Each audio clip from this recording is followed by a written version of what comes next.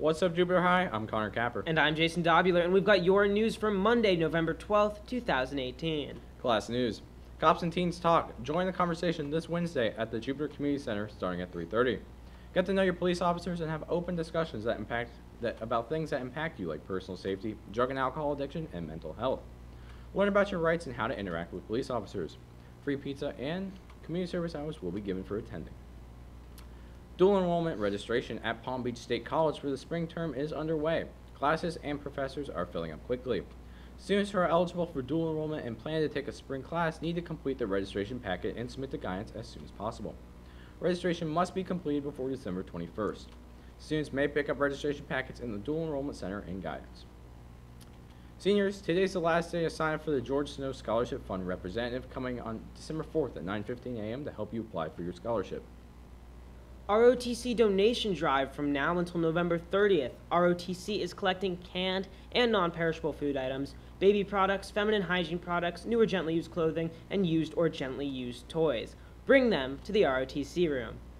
Clubs. Brain Bee. Attention all Brain Bee participants. Brain Bee meeting Wednesday, November 14th during lunch in Mrs. Rogers' room 7208. All Brain Bee participants must attend. Mrs. Rogers will be forming teams and passing out materials. Thank you. Best Buddies, you have a social event after school on November 15th from 2:45 to 4 p.m. in room 7107. Please try to get a picture with your buddy before the meeting. Hope to see you all there. HOSA members, please join us this Wednesday, November 14th during the start of lunch for the induction ceremony of our 2018 to 2019 JHS Executive Board. We will have refreshments following the induction. Jupiter High School students, please show your support for the fight against childhood cancer. On Wednesday, November 28th, the JHS HOSA Club is asking all students to wear yellow or orange in support of the National Pediatric Cancer Foundation. Please stop by the HOSA lunch window and donate your extra change to help find a cure for childhood cancer.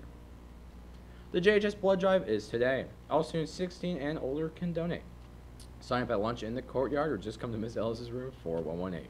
If you donate, you will receive community service hours, a free blanket, and free pizza. Come donate blood and save a life.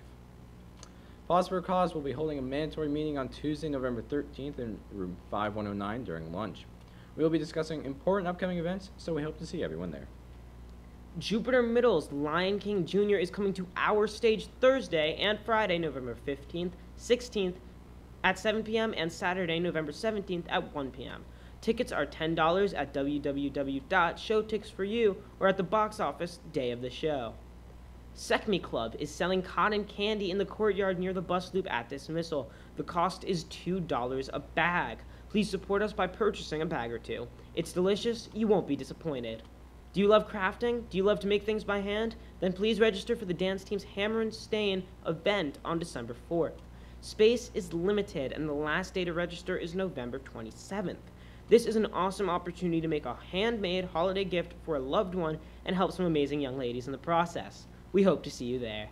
State bowling tournament results. The girls finished 28th in the state with Kayla Grudinsky finishing 18th in the state in the individuals bracket. The boys were able to finish second in states with Isaac Gorzinski placing seventh in the state in the individuals bracket. Congratulations to the teams for their hard work this season. Baseball, please help support the 2018 FHSAA state champions by getting a coupon card that pays for itself and more. See Coach Mook in room 7206 or any baseball player for one or more. Act fast, this will only be available for a few weeks. Show your support and go Warriors. Tennis meeting. Any girl or boy interested in trying out for tennis needs to attend a brief meeting on November 13th right after school in room 4109. Paperwork will be given out. Any questions, please see Coach Lang in room 4107 or Coach Babcock in room 4212.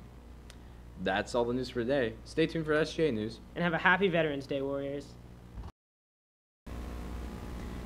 Hi, my name is Zoe. And I'm Nick here with your SGA news. Congratulations to this to the November Student of the Month, freshman Chloe Lawrence. Chloe is one of the hardest working, supportive, and driven students. She is supportive of her classmates, friends, and teachers.